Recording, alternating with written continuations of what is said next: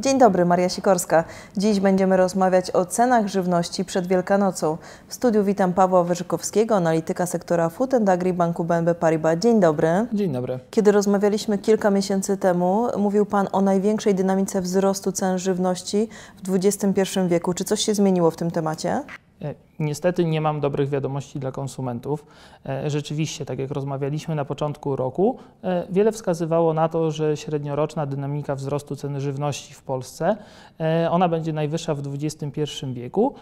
Jednak ta skala, no ona powinna w, w takim razie być wyższa niż przynajmniej te 6%. Od tego momentu oczywiście mieliśmy do czynienia z agresją Rosji na Ukrainę. E, no i to spowodowało dużą niepewność, w szczególności na rynku zbóż, e, gdyż e, Rosja i Ukraina, one wspólnie odpowiadają za 25% obrotu tymi produktami na rynku światowym.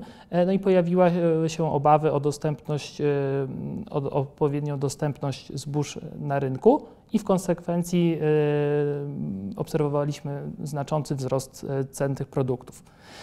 To oczywiście przekłada się e, na wzrosty cen na półkach sklepowych takich produktów jak mąka czy, czy pieczywo, ale nie tylko.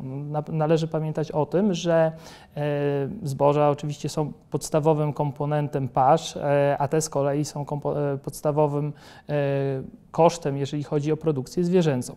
E, także też widzieliśmy, że w wyniku mechanizmu transmisji cen w łańcuchu wartości e, również obserwowano wzrosty cen i obserwujemy wzrosty cen w przypadku czy to e, żywca wieprzowego, czy, czy w przypadku drobiu, ale też pośrednio to oddziałuje na produkty mleczarskie. W rezultacie niewykluczone, że w 2022 roku możemy obserwować nawet dwucyfrową dynamikę w skali roku wzrostu cen, cen żywności.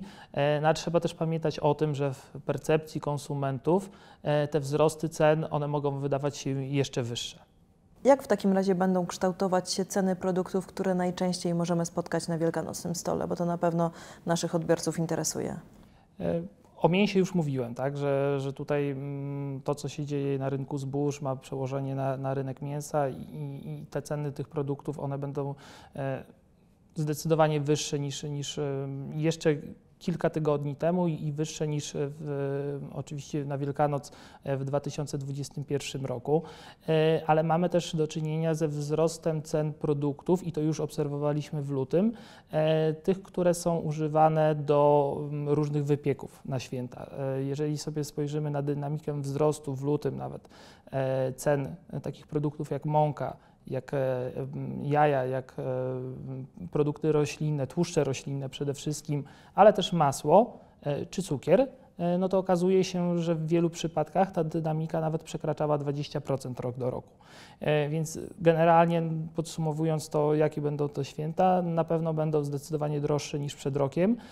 No i ta skala właśnie z uwagi na to, że w szczególności te produkty właśnie służące do wypieków, czy, czy mięso, czyli te takie tradycyjne, których, e, które goszczą na naszych później stołach, e, ta dynamika w ich przypadku wzrostu cen jest wyjątkowo wysoka.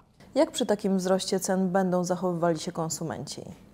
Należy pamiętać o tym, że zakupy na święta, szczególnie te na początku, one są z reguły planowane. Robimy sobie listę, wypisujemy, więc tutaj myślę, że jeszcze bardziej z uwagi na te rosnące ceny, e, konsumenci będą planować zakupy. I to, to jest jakby pierwszy czynnik.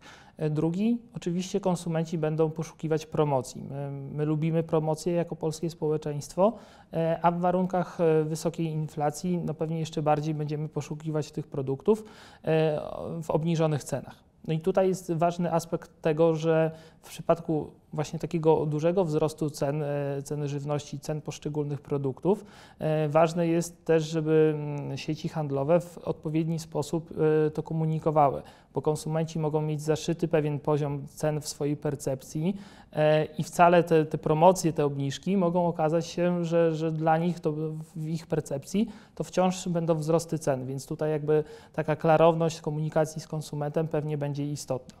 Dziękuję za rozmowę. Państwu dziękuję za to, że byliście z nami. Do zobaczenia.